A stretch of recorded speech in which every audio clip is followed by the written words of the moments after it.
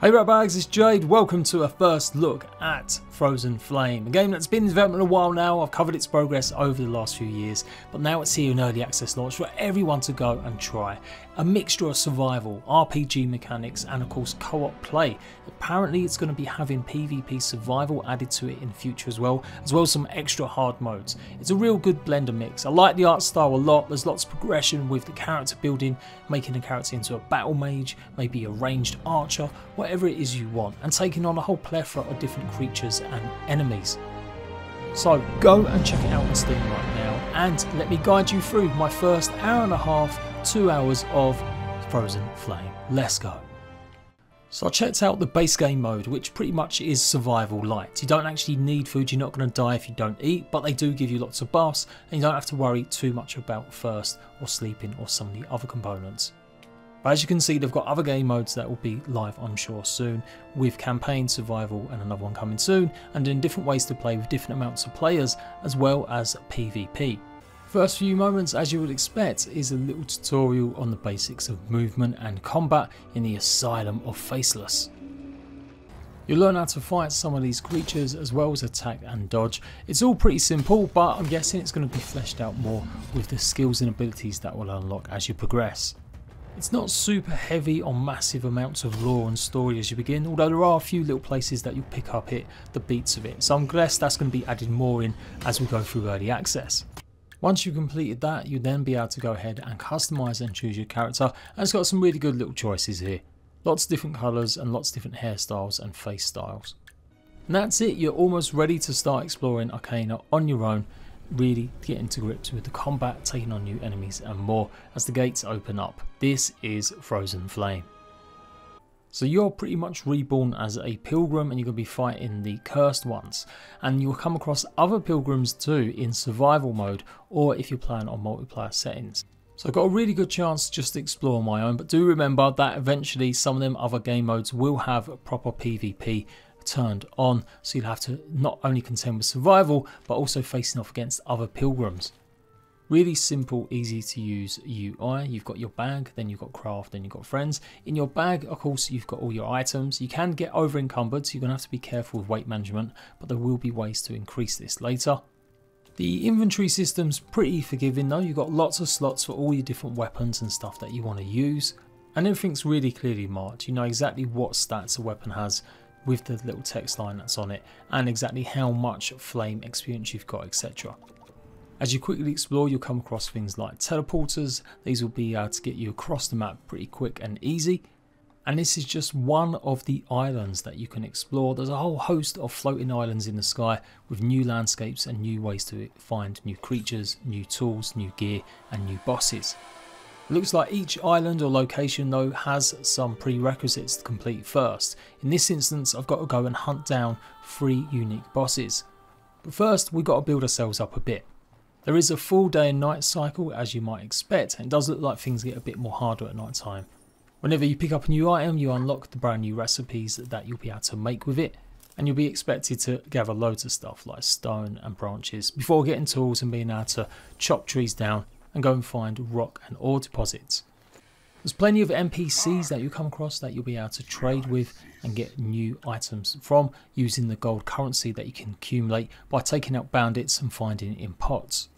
Not to mention crates and some chests that you'll get for completing minigames. There's plenty of creatures that will try and take you down like the curse, but you also come across these blue floating flower blobs which can turn dangerous at night time or if you attack them. Otherwise they'll pretty much be benign and they'll leave you alone.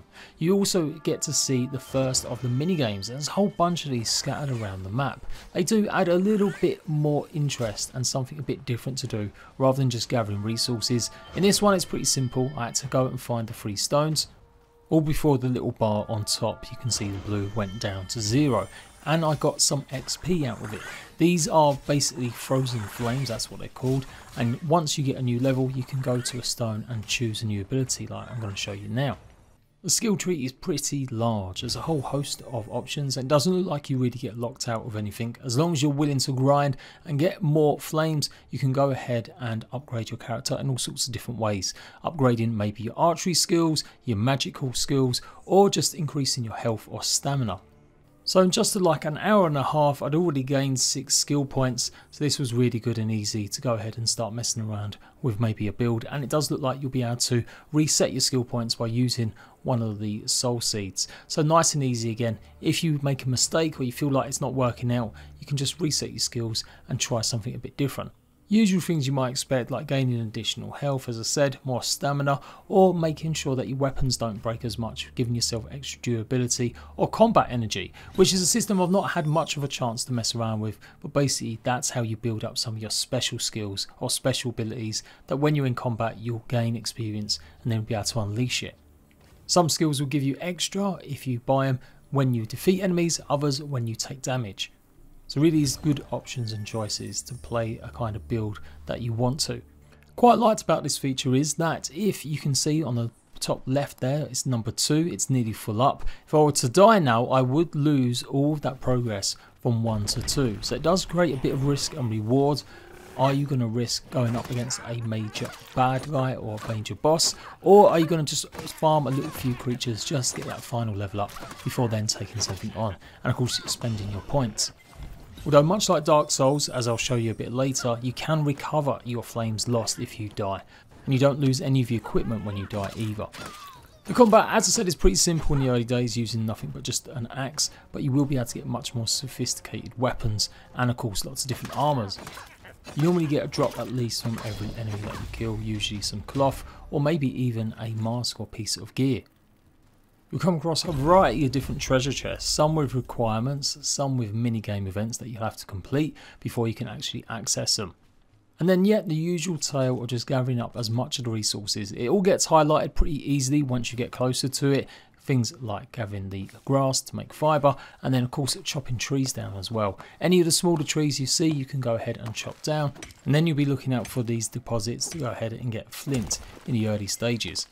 The basics are pretty much there though. You'll find trees everywhere and anywhere there's rocks or maybe rivers, you'll find either loose stones or some of these stone flint deposits. There's no climbing or mantling in the game, but you can go ahead and jump a bit forgivingly. The terrain isn't that hard to get around. It's a really simple situation with the crafting and the gathering of resources. There's not a million different items that you need in the early stages and you can go ahead and start growing some of the stuff you need to open up chests or maybe even fight some of the bosses which I'll show you.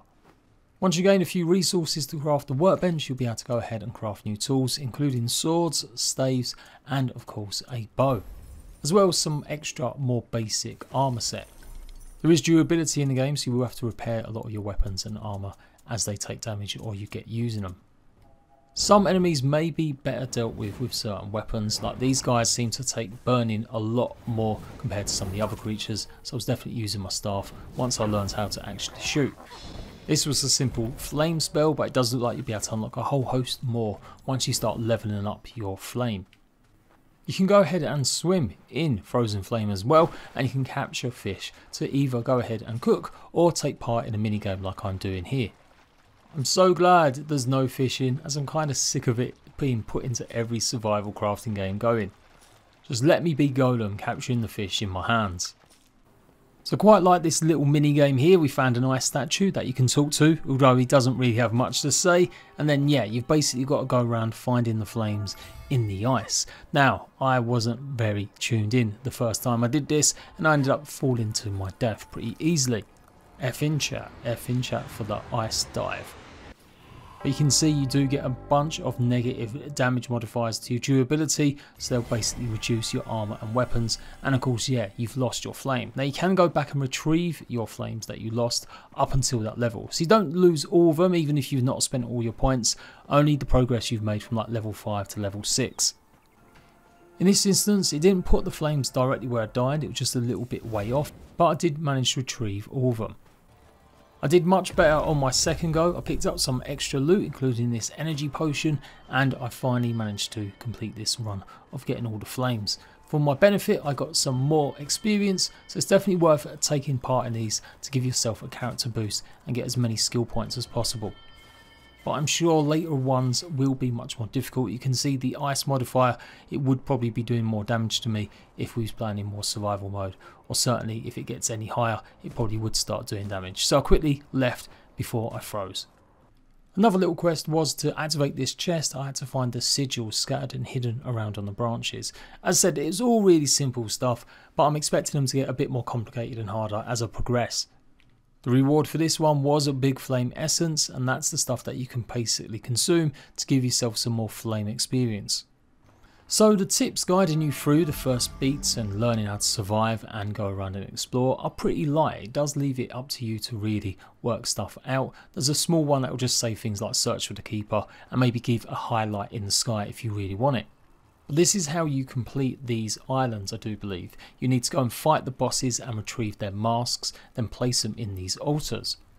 Fast forwarding a little bit to when I encountered my first boss, they're usually found in little climby areas or places that you have to work a way to get in and you usually need to activate the boss fight. In this case it was solid essence which you can grow and combine out of ingredients that you'll find. So he was a ranged boss and I pretty much decided to fight him with the same sort of weapon.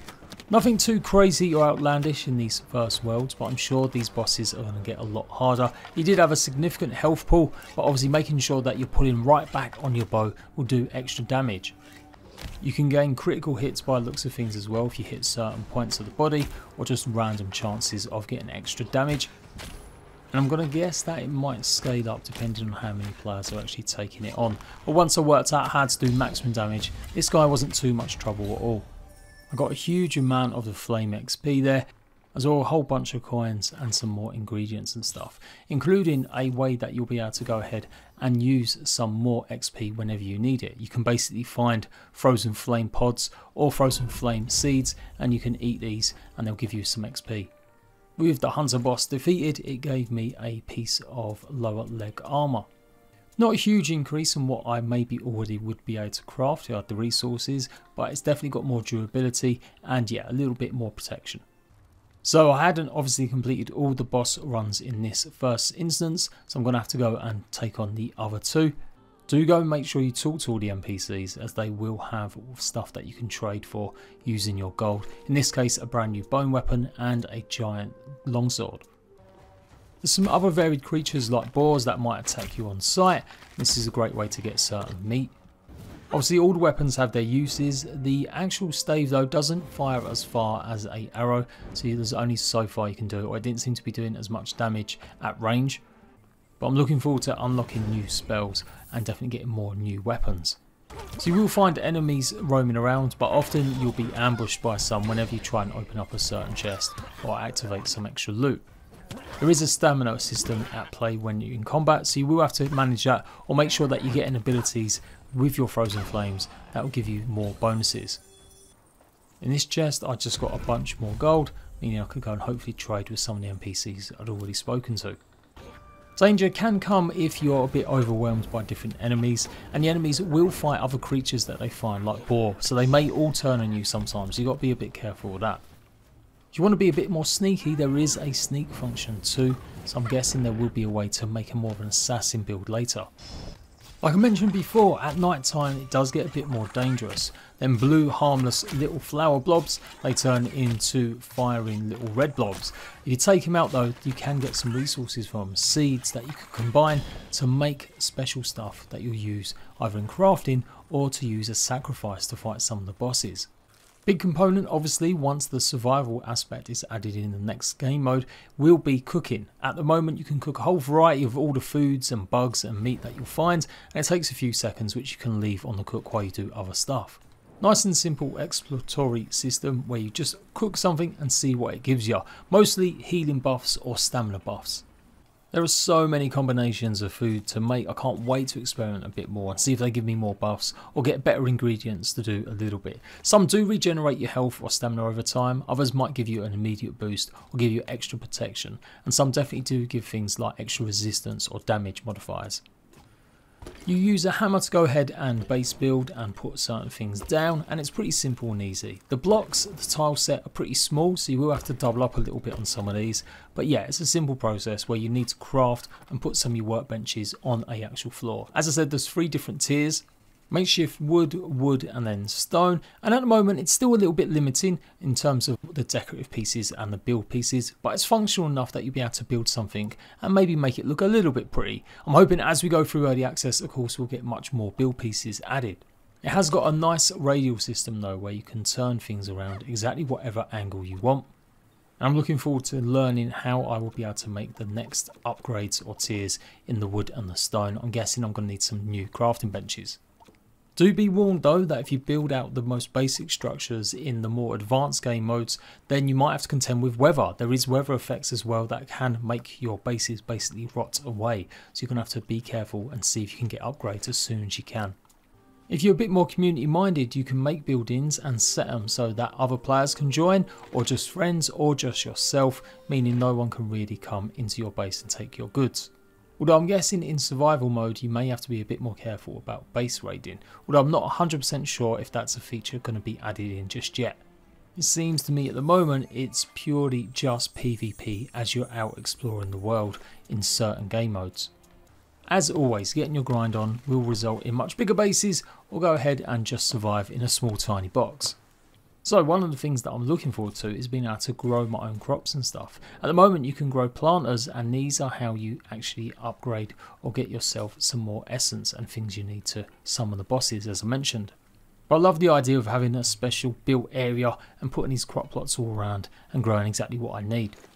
You won't have to wait days and days for your crops to grow. In fact, it's almost instantaneous. They'll just pop out and you can go ahead and harvest and gather them. So it's almost like an apothecary station in a way. Really like the art style as I'm running around. It's got loads of ruins, interesting places to explore that encourages you to go. And if you're still looking for a bit of help, then you've got these beams of light that will direct you a little bit as well with objectives or question marks to investigate. So at the moment in the base game, sleeping doesn't actually fast forward time or anything. It simply just gives you a little bit of a buff. And I'm sure that's going to be the same in the other game modes as well and doesn't serve as a respawn point, which I was a bit surprised by, but maybe it'll be an upgrade later on. If you die, you will respawn back at one of the teleportals closest to your base. Once you've completed all the masks in this instance, that's where I'm guessing we'll get access to the next island and I'm sure it's going to be more difficult. You will come to the edge of the world border and a force field to go through, just give you another warning that maybe you shouldn't be venturing too far. Something to look out for if you decide you want to get back to your base pretty quickly, you can use a returnal stone. These you can pick up as you're playing and they'll basically put you at a spawn point. Trouble is, it reduces all of your XP, so make sure you've got a small amount rather than a large amount like that had. Useful if you've come into contact with a much harder difficult place and you really don't want to have to go all the way back.